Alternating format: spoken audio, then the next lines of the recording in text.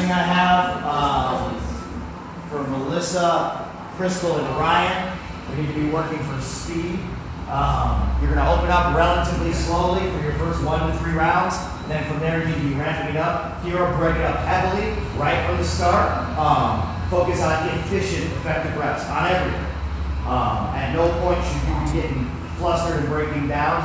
If it's smooth and it's efficient, it'll always be doable. Um, Roy, um, Jeff, Chris O. Um, be careful of knees, knees on pistols, knees on lunges. Make sure we're moving well, gentlemen. That means good posture. All of you. All of you fuck that up. Roy with the upper back, Chris with the upper back, and then on pistols, we get real wonky through the bottom. Keep it tight, gentlemen. We can always scale in or modify for safety if you can't keep it together. Um, that's pretty much all I have. Questions?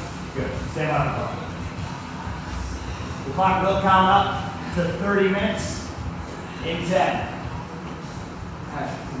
Um, Stand by. Let's go.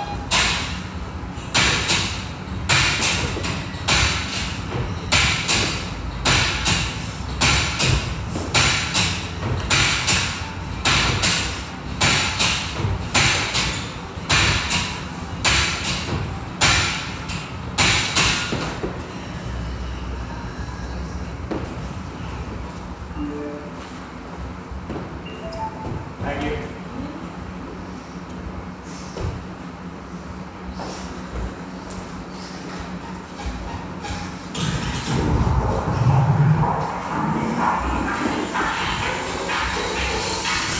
All ladies